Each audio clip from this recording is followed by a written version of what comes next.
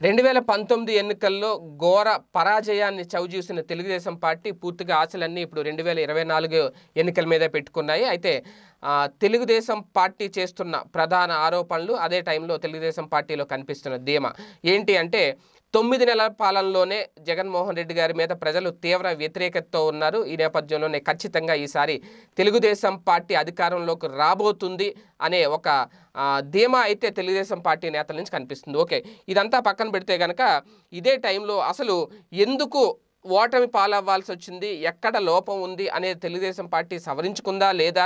Telugu Desam party ఆ దిశగా ఆలోచనలు చేస్తుందా లేదా అనే దాని మీద ఇప్పుడు ప్రధానంగా ఎక్కడ గెలిచినా ఎక్కడ ఓడినా ఒక మూడు నియోజకవర్గాల్లో మాత్రం ఖచ్చితంగా ఈ జన్మలో తెలుగుదేశం పార్టీ గెలిచే అవకాశం లేదు అనేది ప్రధానంగా సోషల్ మీడియాలో వైరల్ అవుతున్న వార్త. అది ఏంటి అంటే ఒకసారి చూసుకుంటే కనుక టీడీపీ కొన్ని చోట్ల గెలవడం కష్టం. అంటే మూడని ఎందుకు చెప్తున్నామంటే మూడుకి మించి ఎక్కువే ఉన్నా సరే ఈ మూడింట్లో మాత్రం గెలవడం కష్టం అనేది ప్రధానంగా ని- వినిపిస్తున్నా అదేంటి అంటే టీడీపీ గెలవలేని నియోజకవర్గాలు ఎక్కువగా జగన్ సొంత జిల్లా అయిన కడపలోనే ఉన్నాయి అనే చాలా క్లియర్గా అర్థమవుతుంది. భవిష్యత్తులో ఆ నియోజకవర్గాల్లో టీడీపీ అసలు పోటీ చేయడం కూడా వేస్ట్ అనే ప్రచారం జరుగుతుంది. ఈ నేపథ్యంలోనే కడపలో ఉన్న పులివెందులు ఏదైతే ఉందో అది జగన్మోహన్ రెడ్డి గారి నియోజకవర్గం అదే టైంలో ఎప్పటి నుంచో వైఎస్ఆర్ ఫ్యామిలీయే అక్కడ విజయం సాధిస్తూ వస్తున్నారు. సో ఆ ఆ నియోజకవర్గాన్ని కనుక పక్కన పెట్టేస్తే టీడీపీ ఖచ్చితంగా గెల గెలవలే నియోజకవర్గాల్లో రాయచోటి ముందు వరుసలో ఉంటుంది. అలాగే టీడీపీ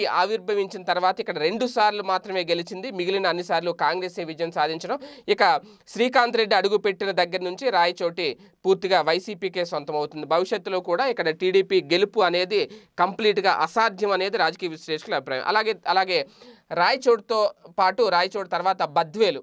బద్వేలు అంటే కడప అసెంబ్లీ స్థానాల్లో పూర్తిగా అస- టీడీపీ అనేది కనుమరుగైపోయింది. అంటే అసలు బద్వేల్లో టీడీపీ మూడు సార్లు గెలిస్తే కడపలో నాలుగు సార్లు గెలిచింది. ఇక గత నాలుగు పర్యాయాలుగా జరిగిన ఎన్నికల్లో టీడీపీ గెలుపు అసలు కనిపించలేదు. గెలుపు జాడే లేదు తెలుగుదేశం పార్టీకి. అంటే వరుస ఎన్నికల్లో ఆ పార్టీ పూర్తిగా ఓటం పాలవుతుంది. జగన్ రాకముందు కాంగ్రెస్ అడ్డాలుగా ఉన్న ఈ నియోజకవర్గాలు ఇప్పుడు వైసీపీ కంచుకోట్లుగా మారిపోయాయి. ఒకవేళ భవిష్యత్తులో రాష్ట్రంలో అధికారంలోకి రాకపోయినా ఇప్పుడు మాత్రం వైసీపీ గెలుపు ఆపడం కష్టం. ఏదేమైనా ఈ మూడు చోట్ల మాత్రం కడప అలాగే బద్వేలు రాయచోటి ఈ మూడు చోట్ల మాత్రం ఇక జన్మలో తెలుగుదేశం పార్టీ గెలిచే అవకాశం లేదు అనేది వైసీపీ శ్రేణుల నుంచి బలంగా వినిపిస్తుంది. ఇది ఇప్పుడే సోషల్ మీడియాలో ఇదే అంశం ఇప్పుడు ప్రధానంగా వైరల్ అవుతుంది.